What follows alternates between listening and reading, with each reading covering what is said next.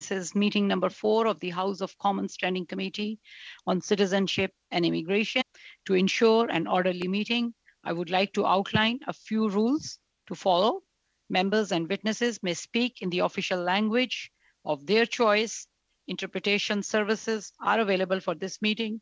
You have the choice at the bottom of your screen of either floor, English or French. If interpretation is lost, please inform immediately and we will ensure interpretation is properly restored before resuming the proceedings. The raise hand feature at the bottom of the screen can be used at any time if you wish to speak or alert the chair. For members participating in person, proceed as you usually would when the whole committee is meeting in person in committee room.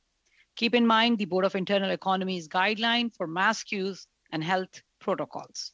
Before speaking, Please wait until I recognize your name. If you are on the video conference, please click on the microphone icon to unmute yourself.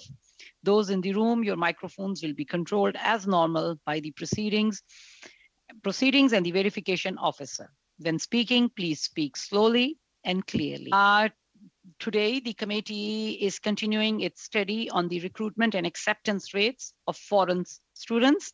It is my pleasure to welcome both our witnesses uh, appearing before the committee today.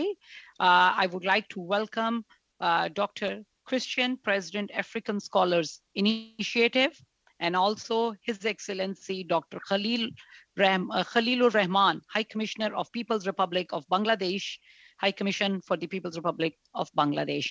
Uh, welcome to both of you and uh, sorry for those technical difficulties. Um, both of you will have five minutes for your opening remarks and then we will go into round of questioning. So I would start with Dr. Christian, President of African Scholars Initiative. You can please start. You will have five minutes for your opening remarks. Thank you, Dr. Christian. Dr. Christian, we cannot hear you. If you can please start. Sorry, can you hear me now? Yes, we can hear you now. We'll start okay. the clock. You have five minutes. Thank you. Uh, thank you, Madam Chair and honorable members of this committee for the privilege to appear before you once again to discuss a very important issue relating to growing difficulty faced by foreign students from Africa to secure study visa to pursue education in Canada. Point d'ordre de Madame la Présidente, j'ai pas d'interprétation malheureusement. No interpretation? Interpretation is back. Oh, c'est réglé, c'est réglé, c'est réglé. Okay. Merci. Il n'y a pas de problème. Please go ahead. Thank you. Uh, on November 30th, 2020, I appeared before another sitting of this committee and raised some concern with regards to high study visa refusal rate for applicants from Africa, especially at the Canadian Visa Office in Nairobi, Kenya. Uh, Madam Chair, I'm privileged to appear before this committee again 14 months later to report that things have changed, sadly, not for the better. In illustrating the difficulty or growing difficulty faced by African students to secure study visa to study in Canada, I'm going to use Nigeria as a case study. Nigeria is the most populous country in Africa. It is among the top 10 source countries for Canada study visa, specifically number three after China and India. It is the only African country on the top 10 list. It also has the lowest Canada study visa approval rate on that list. For example, Korea and Japan are on the top 10 list. At a point in time when Korea and Japan has 95 and 97% study visa approval rates, Nigeria had a dismal 11.8% study visa approval rate. For many years, scholars, academics of African descent in Canada, as well as stakeholders have sought answers or reasons for the high study visa refusal rate from Canadian, Canadian visa offices in Africa. That answer seemed to emerge on October 2021 when the IRCC anti-racism uh, employee focus group report was released.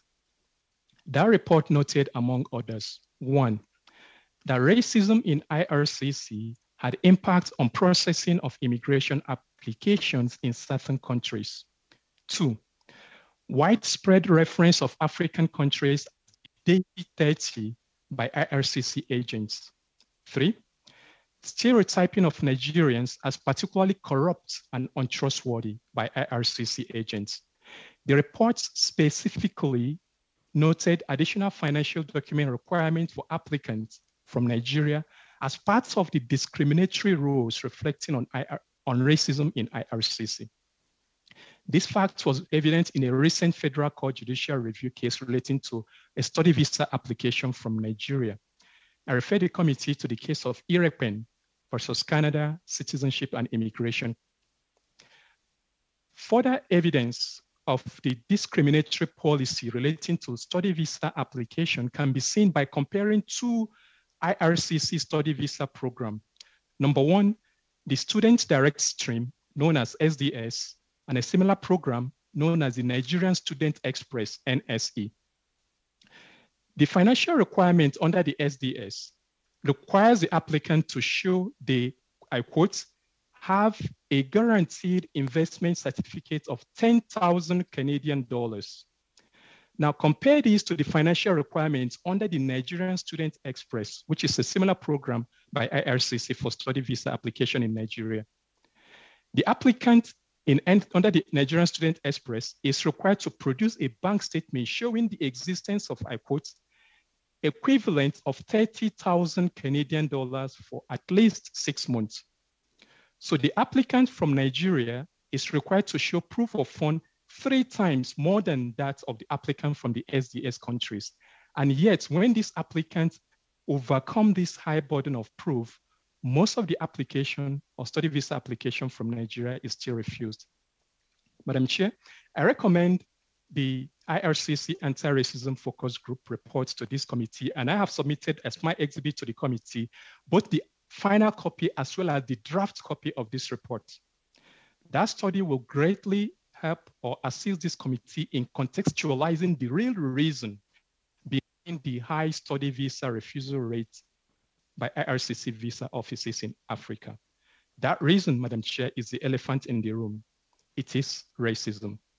I know my time is up, up so I'm not gonna um, spend more time. I'm also uh, gonna stop here and then welcome further question on the issue I have raised, as well as other issues such as the Chinook, as well as, and uh, also the use of uh, artificial intelligence technology by the IRCC visa offices and the impact these technologies are actually having on study visa application. Thank you very much, Madam Chair. Thank you, Dr. Christian, uh, uh, for your. And we will now proceed to our first round of questioning. Uh, mm, we started a bit late, but uh, we will. I will make sure that we complete this first round of question of six minutes each. Mr.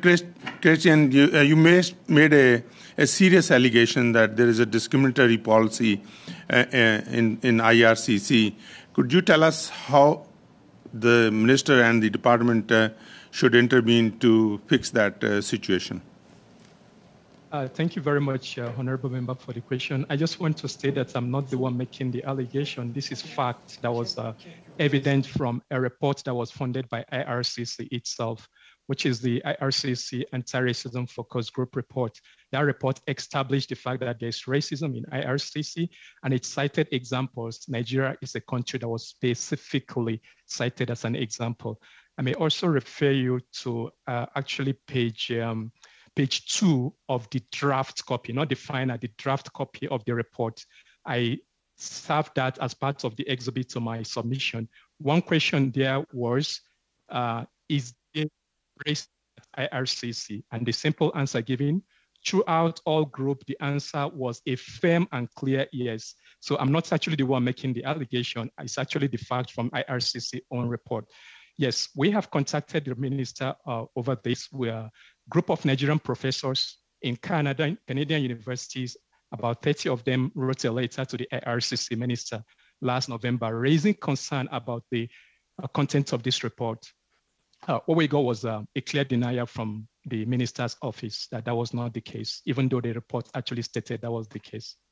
I see my time is up, Madam Chair. Thank you. We will now proceed to Mr. Brunelle-Duceppe. Mr. Brunelle-Duceppe, you can go yes. ahead. You will have six minutes for your round of questioning. Merci, Madame la Présidente. Thank you, Madam Chair, and thank you to the witnesses here for this study, this very important study that we uh, hold dear. I'm going to go ahead quickly. Um, I've had discussions with some immigration lawyers, and I was told that the burden of proof in providing when the demand is made that the burden of proof is higher to have chances of being accepted specifically for documentation with regards to the financial abilities and um, you spoke um, in your opening statements about this. So, if you apply from the Philippines or Bangladesh, you'll need six months of bank statements. But for someone from Spain, for example, they have to provide a proof of financial resources. I'd like to hear you speak to this. Isn't this the evidence that we are facing systemic discrimination, a certain form of racism with regards to um, people asking for study permits? I'd like to hear you both speak, but Mr. Christian could lead, perhaps. Uh, thank you, Honorable Member. Um, yes, the issue of uh, financial requirements and documentation uh, if I may also refer to the IRCC report, was actually one of the uh, one of the issues that was raised in terms of discriminatory treatment of um, applicants. In the case of SDS countries, all you just need to show is here I have a GIC guaranteed investment certificate of $10,000 to meet the financial requirements. In the case of the requirements under the Nigerian Student Express, you are required to show that you have $30,000 within a period of six months in one year bank statement. So even if you prove that I have $30,000 today in my account, you don't meet that requirement. That $30,000 have to sit in your account for a period of six months. In the case of GIC, I mean, uh, SDS countries, you just need to produce a GIC statement or maybe to make it easier, a check, certified check $10,000, I have it, you meet the requirement. Whereas the other person, you have to wait for six months, have that $30,000 in six month period over a 12 month time to show. That is clearly discriminatory. I mean, asking one person to show $10,000 and asking another person to show $30,000, there is no justification for that. So what we're actually asking is at least have the requirement harmonized. And it's even bad or worse when the person that has the higher burden of proof still exceed that proof or meet that proof. And yet there is nothing to show for it in terms of approval rate. They are still having worse approval rate than even the other countries that have lower uh, standard of proof when it comes to um, the financial requirements.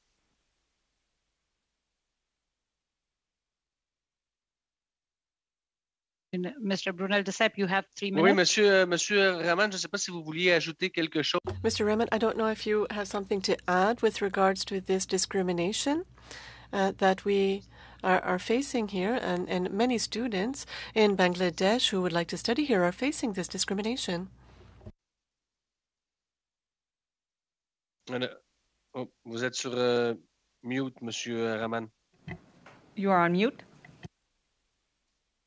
Uh, Mr. Rahman, yeah, uh, we okay, can't so hear yeah, you. Yeah. Okay, yeah, please. I just go ahead. heard it in, in French, but I, I, mm, if I understood whatever I understood, because it was Uh, very Mr. late. Brunel de I've stopped the clock. If you can repeat your question. I- I- no, Oui, euh, et, et là, je pense qu'on a un problème d'interprétation. I think there might be an interpretation issue. He might not hear the interpretation. Mr. Christian, rather, when I think of the um, testimony we have before us, maybe you're not able to answer, but you do represent an association, an African association. One way or the other, we believe that there is discrimination uh, from Francophone Africans asking for permits, and we realize this where there's a a high refusal rate from some West African countries. If I think of uh, the Ivory Coast, Cameroon, uh, the Senegal, so our resources and uh, treatment centers also be responsible for this discrimination, or processing centers rather. Uh, thank you, um, honorable member. Uh, there are many problems responsible for the low approval rate. Uh, some of the problem may be attributed to resources. For example, most of these countries that have low approval rates, the study permit applications are not pro processed in those countries. They are processed in other countries. So IRCC, of course, has attributed that to uh, resources. If this study permit application can be processed in the source country, individuals in those countries will have better understanding of the unique circumstances of the applicant in that country to be able to make a decision. So that is a problem that could be taken care of by having this uh, processing localized.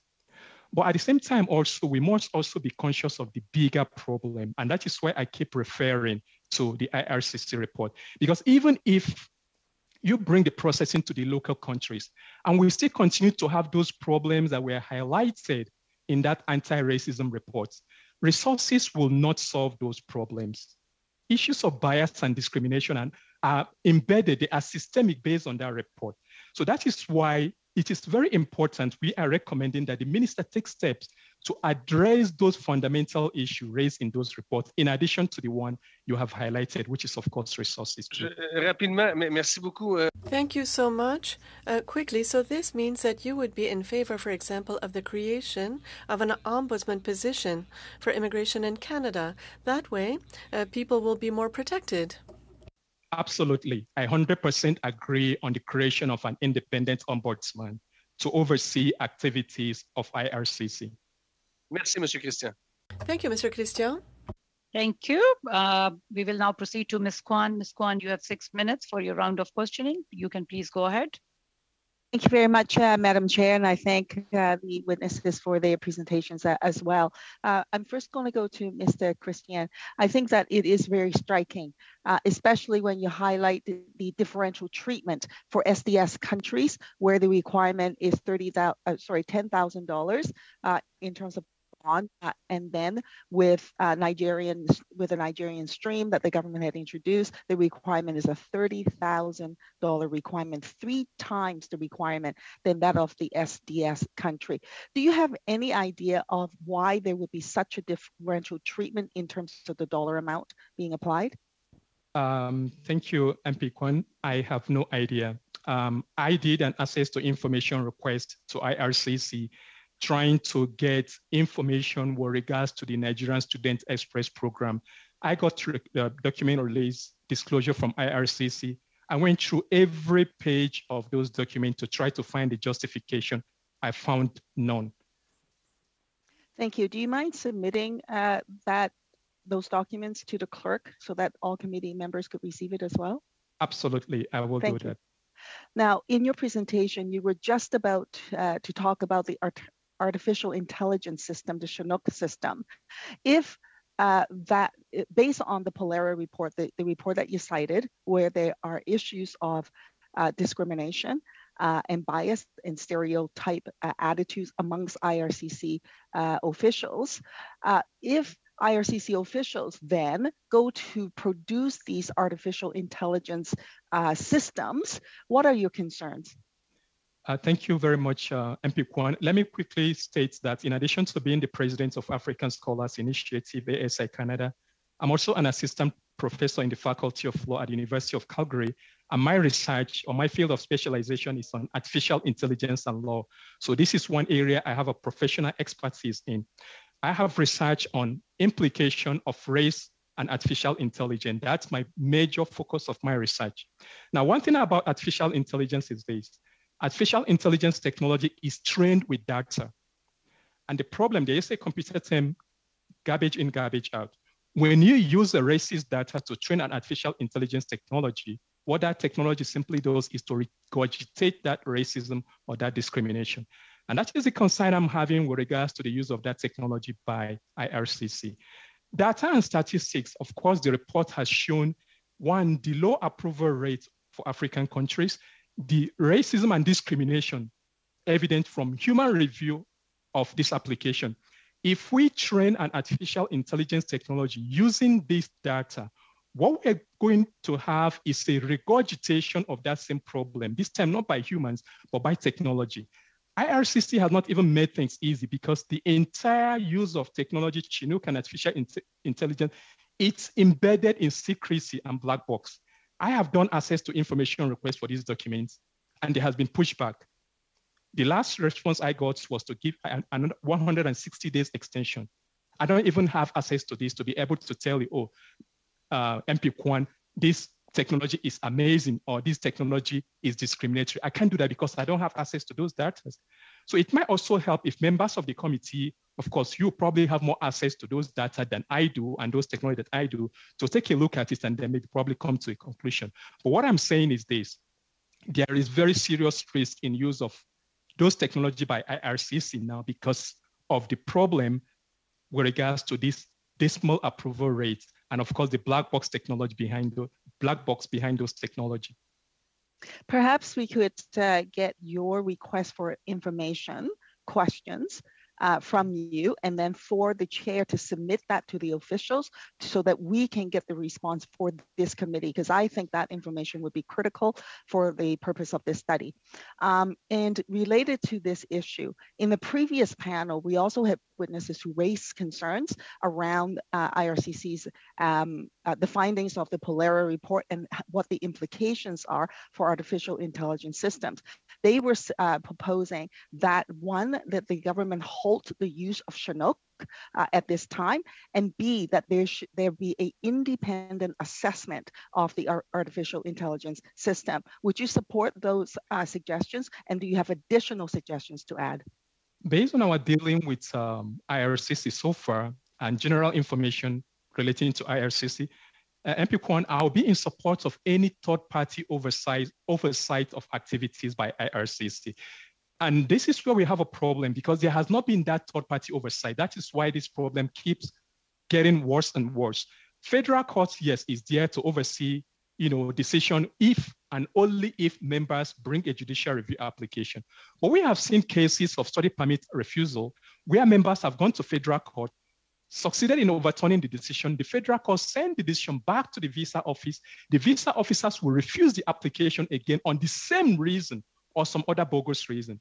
And federal court doesn't even have the capacity, very limited capacity to be able to make a kind of, you know, directed verdict, which they have been very reluctant to use, of course, because of the principle of separation of power, judiciary and executive.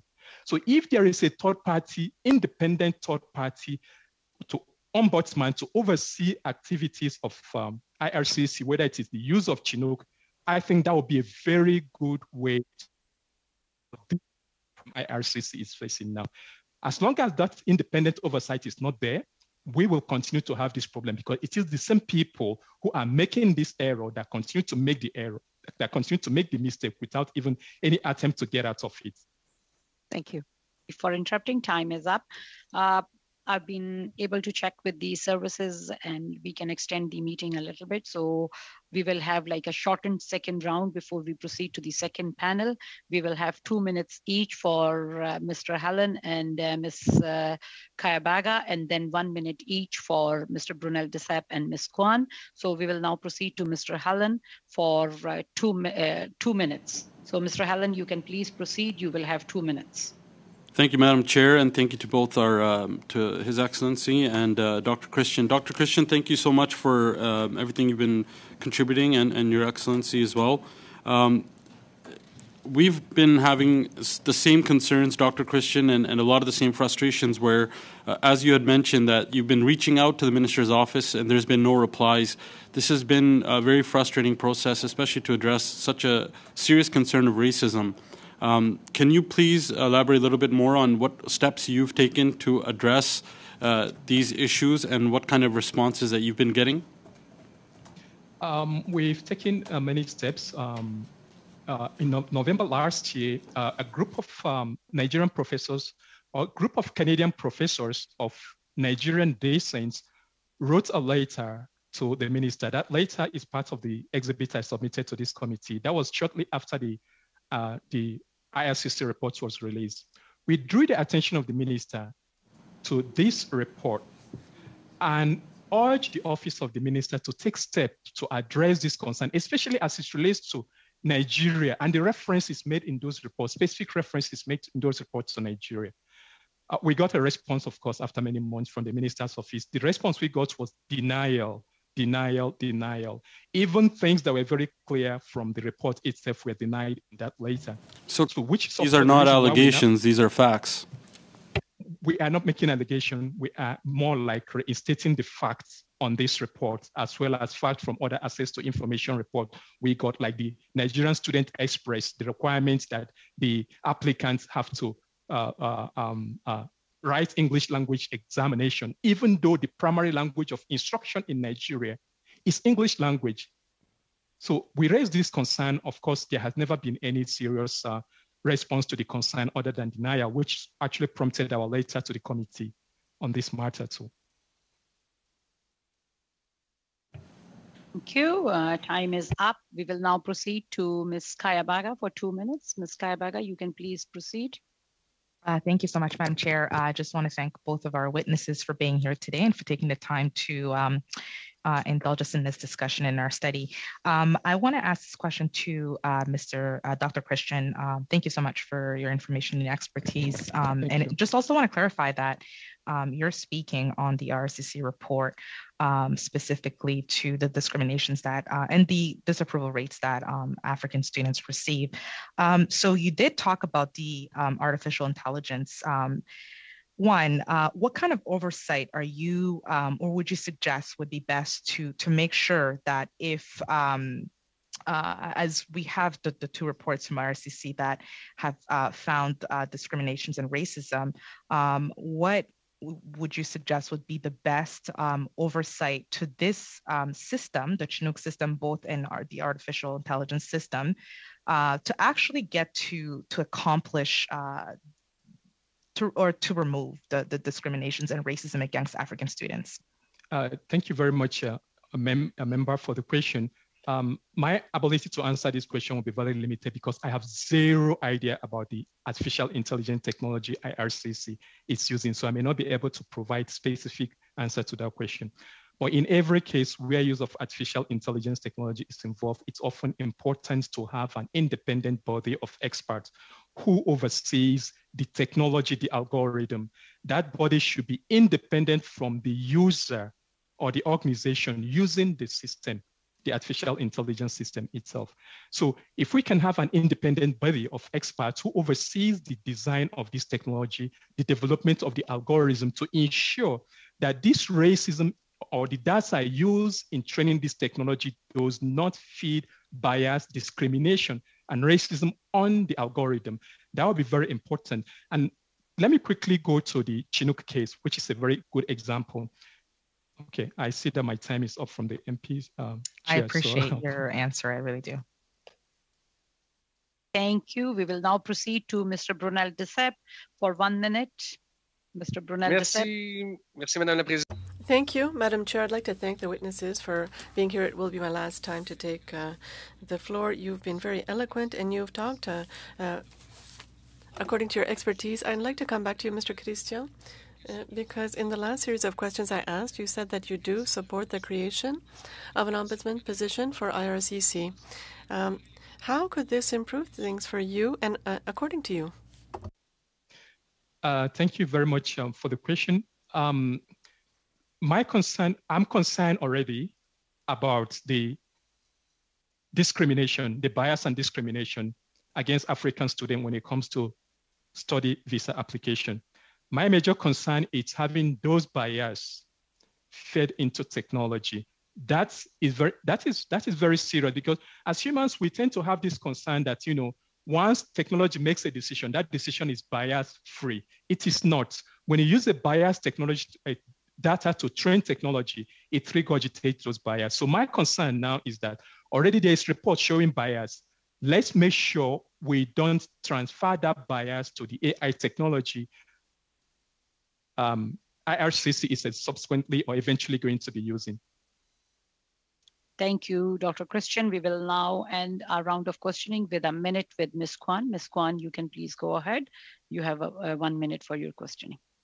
Thank you. Um, my question is to Dr. Christian, and thank you so much for your expertise on this. No question, there needs to be independent assessment both for any artificial intelligence systems uh, and then also an ombudsperson to review IRCC matters. So, so two separate issues. Uh, with respect to um, applications, the government also has this thing called dual intent. Are you familiar with that, and what are your thoughts on it, and what needs to be done? I am very familiar with dual intent. Uh, I'm a lawyer, and uh, part of my practice, of course, uh, in, in, include um, immigration law. So dual intent means that um, if somebody is coming to Canada to study, they also have the intent to become permanent resident after that.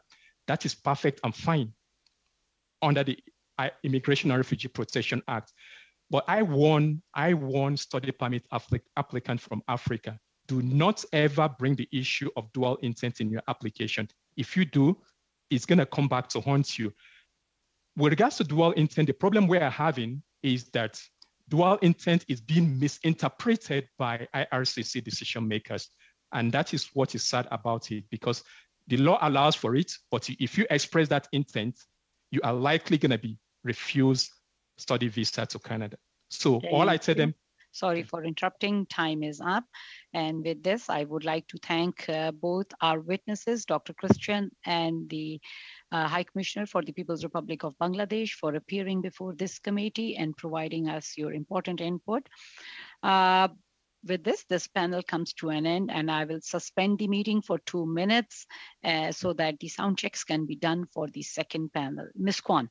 Uh, thank you, Madam Chair. Uh, before our witnesses um, uh, leaves this panel, um, I would I'd like to invite them to submit additional documentations that they think would be relevant and useful for the committee members' consideration. Uh, and the uh, because time was limited and you did not sort of get to give the full answers that perhaps you might wish if you have any supplementary items to add to the questions that were put to you, uh, please submit it to the clerk so that we can receive that in full. Uh, thank you, Ms. Kwan. Please direct the questions through the chair.